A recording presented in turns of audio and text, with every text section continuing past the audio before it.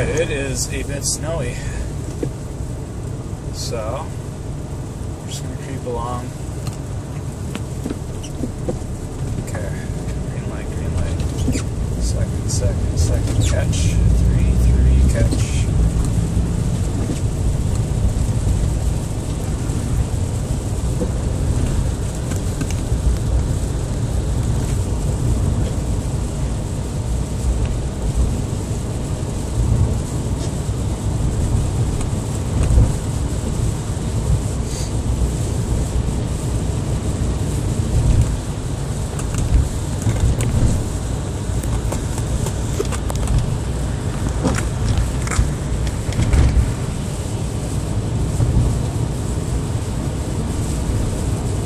So as you can see, it's a bit slow out right now.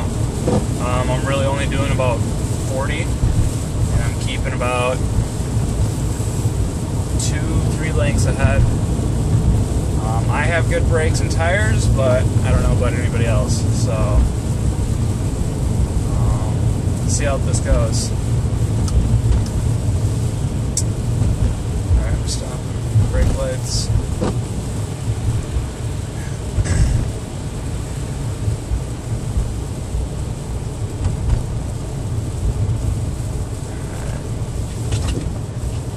kill it. Just coasting, coasting. Tap the brakes, tapping. Tranny brake. Driving a manual. Just help use the tranny as a second set of inertia stopping. Alright, so the plan is get off Highway 51 eventually. I was going to take the interstate, but there was an ambulance that I saw rush right up there as I was getting up to where I needed to turn there.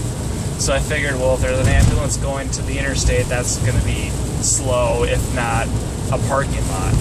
So 51, even though it's a smaller road, it's actually been fairly clear so far, uh, which is kind of surprising.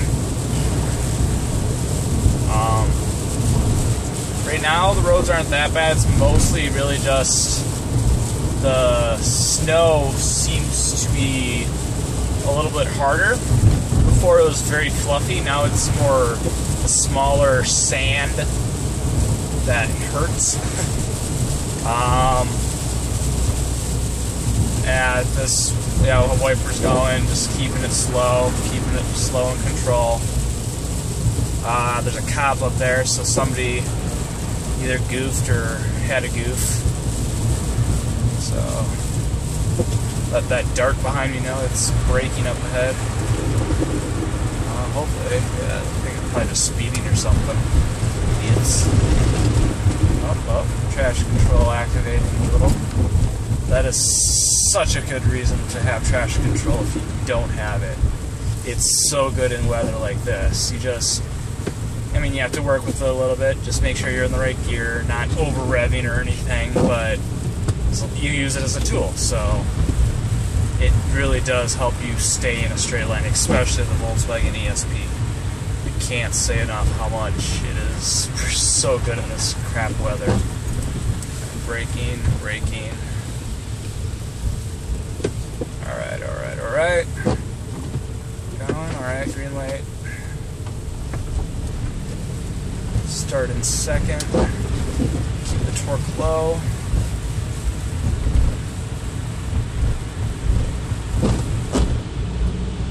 Tunnel.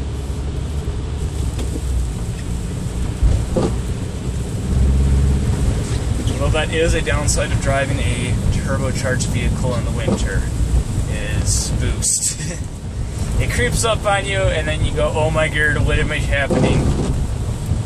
Um, but uh, just as long as you, if you drive a boosted car, you should definitely know at what RPM you start making your boost. That way, you can just kind of eyeball it. Yeah, if you have a boost gauge, that helps too. But even then, if you can just eyeball the tach, or even just learn the sound, that man's kicking up spray. So I'll just keep a distance.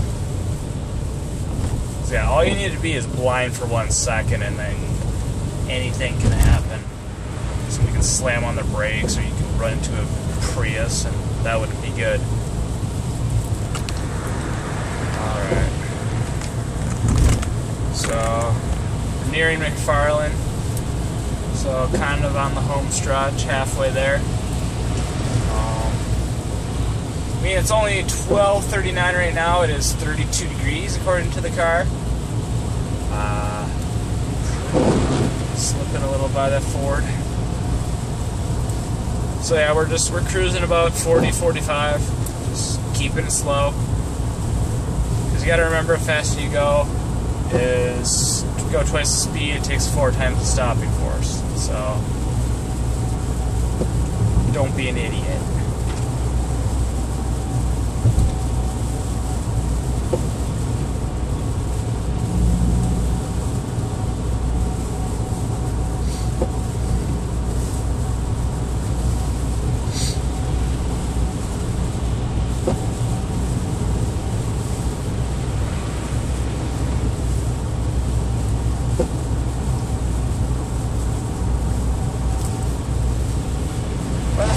passing me Dart.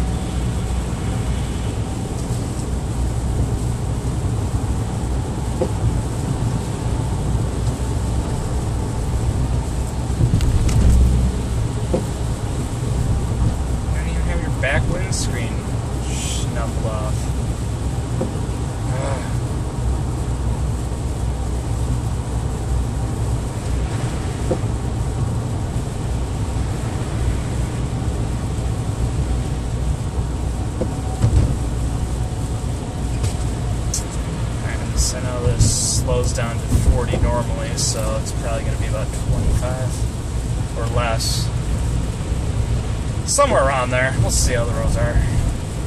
From a distance, they look fairly clean at least. So just tap. I got a van behind me. He's going to need a lot of warning for braking.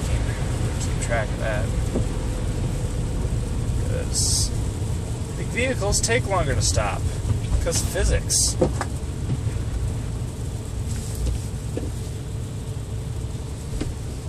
We got the green light. I love catching the green light in the snow because you don't have to worry about somebody not seeing you and then slamming the brakes at the last second and bumping into your butt and then legal issues and things like that.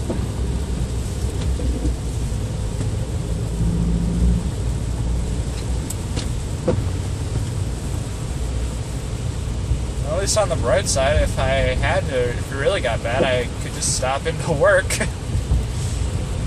I'm right by it now, so. Red light, red light, stop, stop in, stop and down, stop and down shift, stop and down shift, stop and down shift. Alright.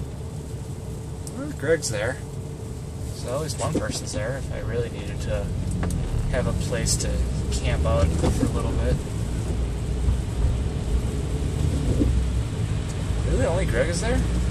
Or did he just leave his car? Idea. I'll find out tomorrow when I work. If I work tomorrow.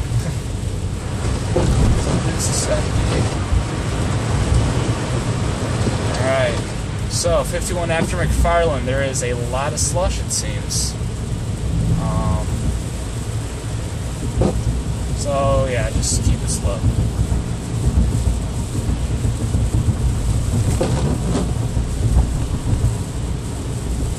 Not going to pass this guy just because, one, that'd be stupid, two, it emerges up ahead, so, eh. It really wouldn't really help me in the long run.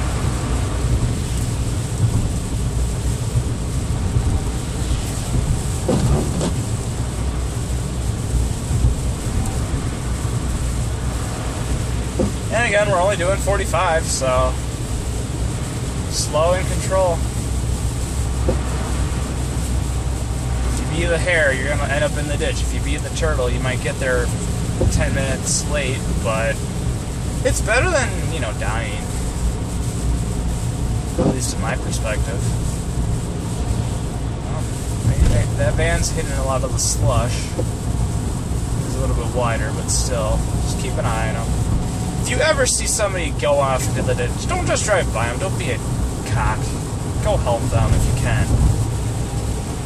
At least make sure they're okay.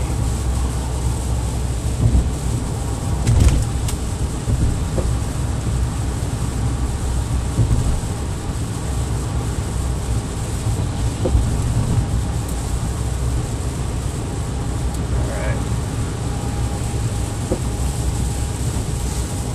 Alright, 51's getting a little slipperier now that we're out of the greater Madison area.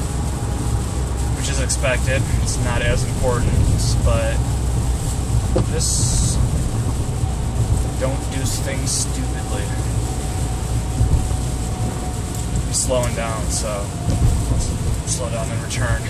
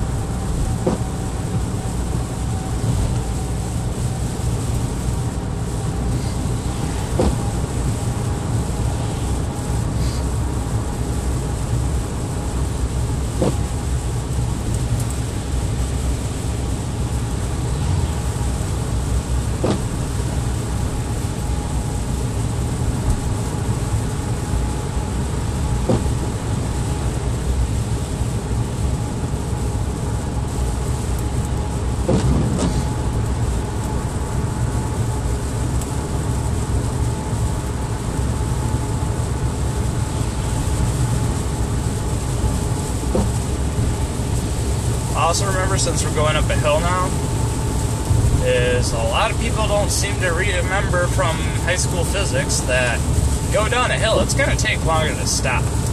You got gravity helping you go down, so. I've seen so many people last year that just slam on the brakes on a hill. It's like, you idiot, you should have stopped like before the top of the hill. Maybe coast a little bit before you get the peak of it. That way you lose some of your shed some of your momentum. Alright. Snow is picking up a little bit in force, and we're still doing 45. So I know it's not because I'm going faster that it sounds louder, it's just, it sounds more like rain. And rain is not what you want after there's slush on the ground because any rivets that people made in the ground, those get turned into tracks, and your car will follow those tracks. And if there happen to be tracks that, you know, had them go off a ditch, you're going to go off into the ditch too.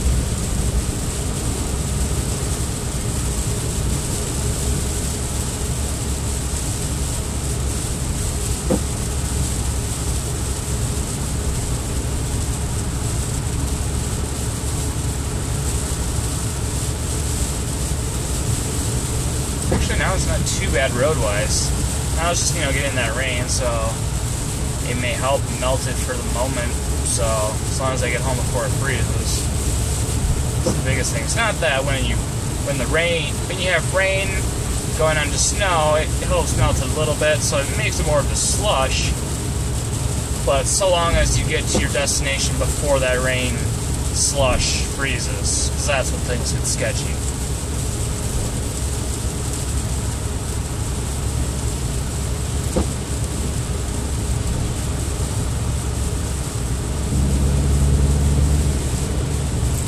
Now it's more, more of normal road conditions.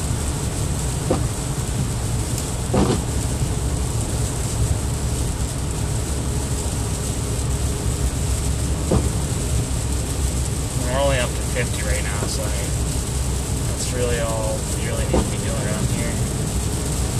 So, this stretch between McFarland and Stoughton is it's relatively clear. It's the part a little after McFarland that's still a bit eh, but coming up to Stoughton, it's really just like driving on in rain.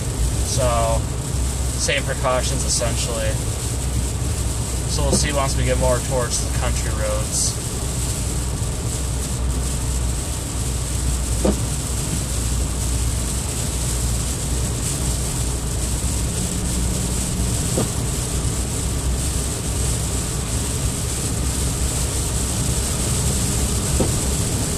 Alright, it's picking up more.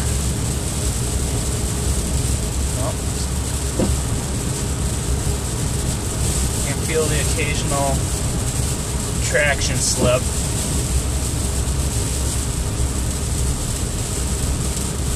It's still 32 degrees, so it's kind of at that point where water can either be a solid or a liquid. It really just depends on that particular amount that you're measuring. Because you gotta remember, temperature is just the average energy. So if one patch is a little bit colder and one patch is a little bit hotter, they average out to, you know, 32. So you can technically have water freeze at like 28 degrees, or you can have it freeze at 40. It really depends on which part. This guy's barreling down.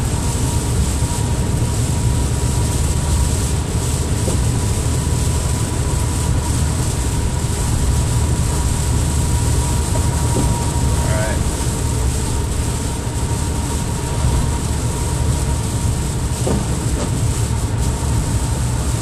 I'm gonna blink early so that the Civic. Nope, this guy's going that way too. All right.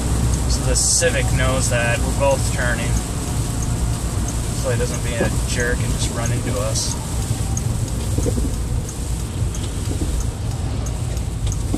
Oh, Lexus. Okay. Kind of looks like a Honda. And a Mustang in this. Wow. Somebody grew balls.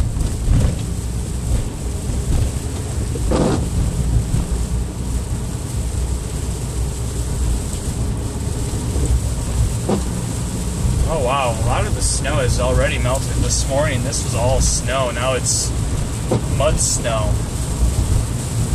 So obviously it's it is rain now. It's melting the snow quite fast. Is good and bad. So I've got about my ETA is another nine minutes I'd call it. Um, still, I mean, it's still city road, so it's going to be more well kept than once I get out into the country, and that's where things will get sketchy. Most likely. We'll find out. Hey, if somebody runs into me, I have video proof at least.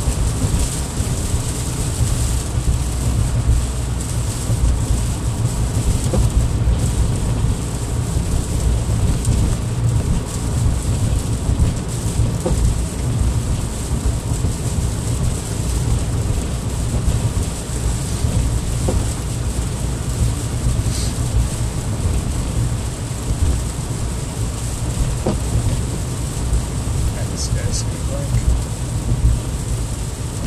Huh?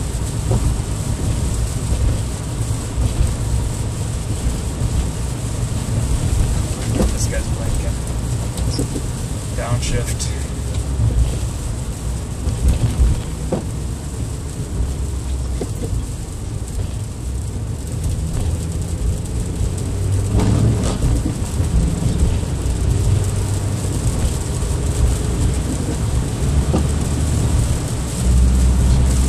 Honestly, I, for some reason, I feel calmer if there's nobody ahead or behind me.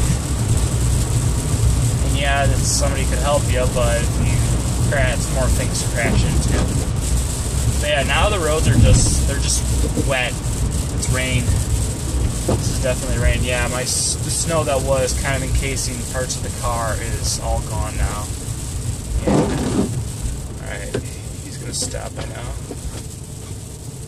Alright, I'll go.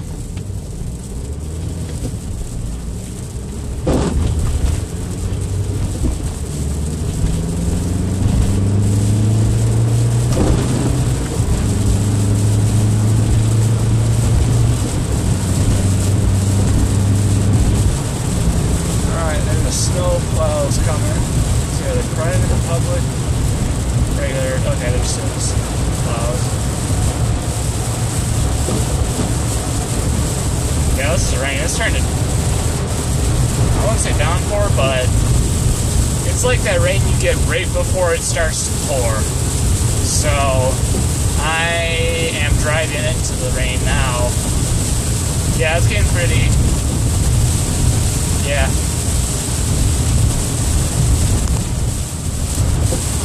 Here's windscreen.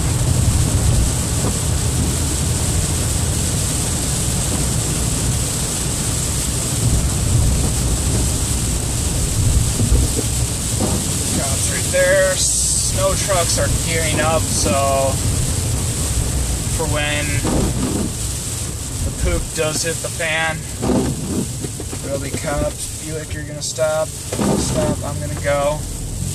Thank you. Shout out to you Buick drivers. You're always so nice. Even if you might be old people, you're still nice. Alright. Country road, not too bad. It's just very wet. Very wet and slushy in spots. If anything, it's more hydroplaning than snow. Which, honestly, I would rather drive in the rain. Is I don't know, it's more predictable, it seems. Snow just kind of takes you wherever you, it wants to go with you, whereas rain, oh, that side of country roads, they have divots that hold water, so gotta be careful with hydroplaning So, Oh, skip, skip.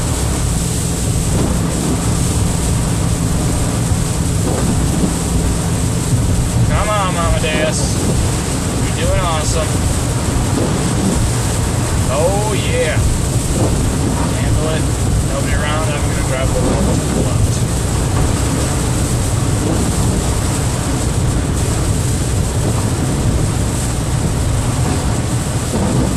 Chugging through the water.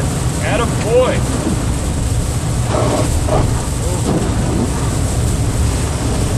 Why are they not using bugs for rally cars? I mean, what in the world? These are doing it's really really good. Alright. We made it.